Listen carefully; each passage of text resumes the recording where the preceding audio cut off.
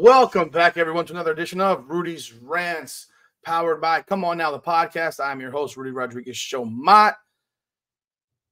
And I have some ranting to do, but in a positive way. Yeah, that's me. I'm the positive guy. You know, typically I'm that crazy. Uh, you guys think I'm kind of negative maybe at times. but that's what ranting is about.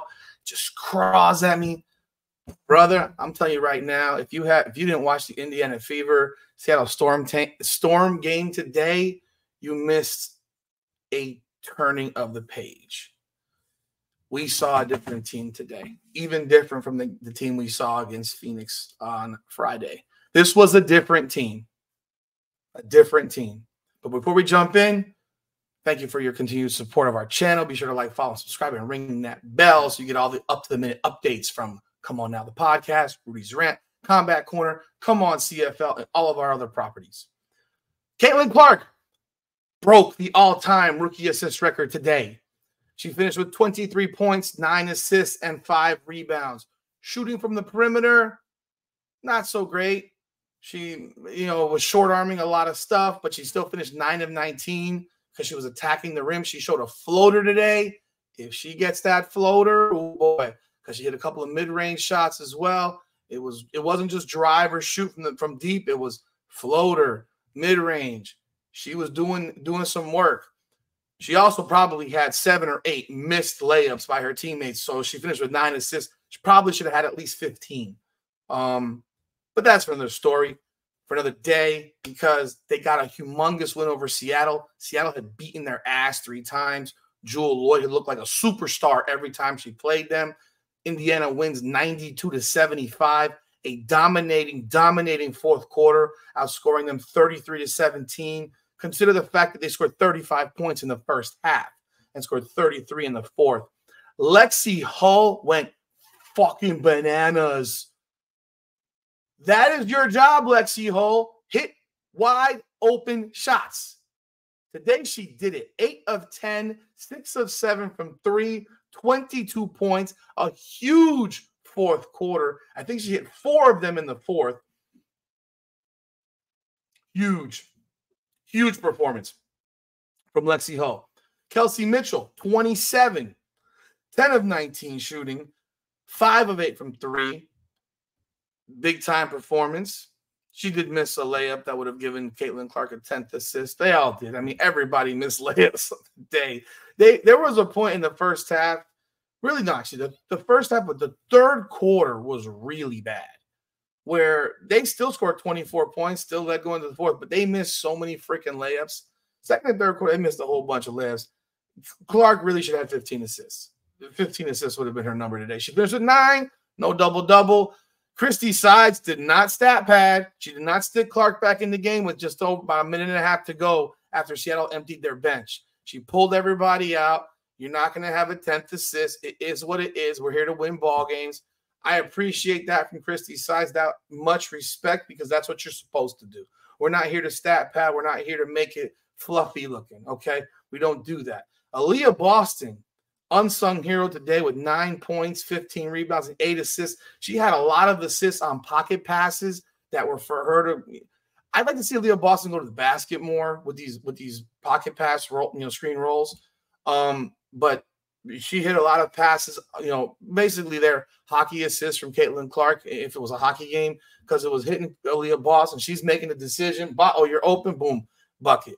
And, and she had a great game and seeing people that were open Indiana's defense, though, they get, they held Seattle to 75 points. That's a huge, huge thing for the Indiana Fever because defensively they typically struggle. And Jewell Loyd in the first half was largely ineffective. Second half, she went off. I mean, she she was starting to hit shots. Second half, she finished with 26 points. Um, but it wasn't like those games that she, she played previously against Indiana where she's shooting 57% from the field and 57% from 50 some odd percent from three. Today, she's nine of 22, two of six from three. So it wasn't the same type of game. Now, Ezi Magbegor, my God, that girl is a rim protector for Seattle. She blocked, at, she had five blocks. I mean, she's blocking shots left and right. However, I think some of these some of these blocks come because these women are just going up way too slow with the ball. You know, you got to be ready to go up with the ball, catch and go. You can't wait for her. She's a freaking long ass girl who's going to block your shot, man. Overall, Indiana balled out today. Second half was very, very impressive. You know, especially when you're playing a team that's beaten your ass three times earlier in the season, kind of like that New York Liberty game. But I think this one really turned a corner because in the fourth quarter, they blew them out the building. They blew them out of the building. That's big, big. That's that's big, big, big for Indiana because every win they've had this year has been pretty much a close game. So, you know, when you when you combine all these things together, this is the best performance the Indiana, Indiana Fever have had all season. They didn't blow the lead. In fact, they were trailing much of the first half and got the lead late in the first half, had the lead at the half, which I thought was big for them. They went up, I think, by 10 or so in the in, in the second, in the third quarter. Seattle crept back in because they're not going to go away. But that fourth quarter with Lexie Hull and those threes that she hit, those were huge. Like that, that is that is what you need from Lexie Hull. That's her job. Like that's the thing. Like it's like it's like kickers in football. Your job is to make kicks. When your when your job is to shoot the basketball and hit corner threes, that's literally what you should be working on every day when you're not playing. You, you should be working on your shot from the corner. And it looks like she did because today she shot lights out. If she can be a fraction of that every game, not that, but a fraction of that, that means not 22, but give me 11, 12. You hit three threes in a game. She hit her career high six. Her previous record, career high was three. Today she hit six. You give me three a game.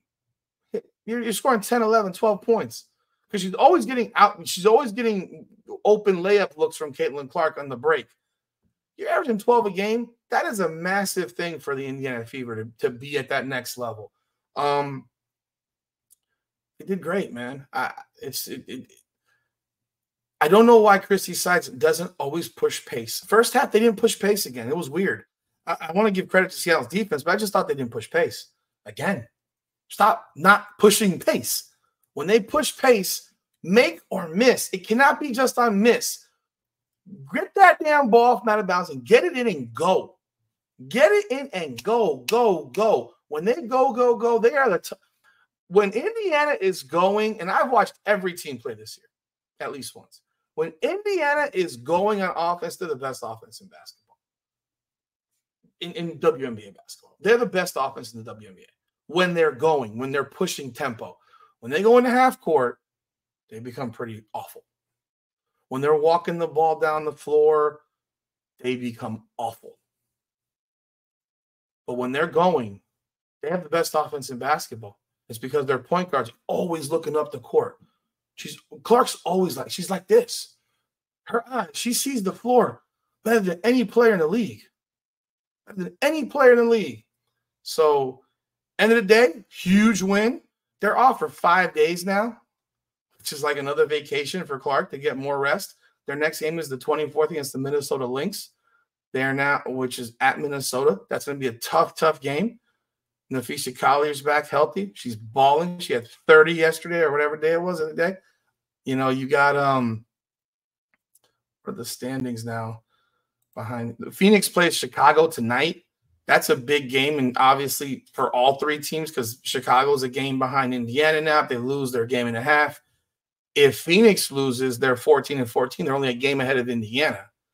So and Indiana's got that tiebreaker. So that's a huge, huge game across the board. We'll see how uh, Chicago does tonight after they lost. They got blown out by Phoenix in Chicago earlier this week, or last, technically last week. Um, but yeah, we'll have we'll be checking that game out as well later on, and we'll probably do a recap of that based on how that one goes. Big time win by the Indiana Fever. It's hard to complain about a 17 point victory other than make your goddamn layups, man. Because that 17 point game should have been a 30 point game if you make your layups. That's why this league at times is just so difficult to stomach because you watch missed bunnies on nobody. Nobody's there, and you're missing. There's no excuses for it. But anyhow, that's all I got today for Rudy's Rants. Be sure to like, subscribe, and follow. Ring that bell. Come on now.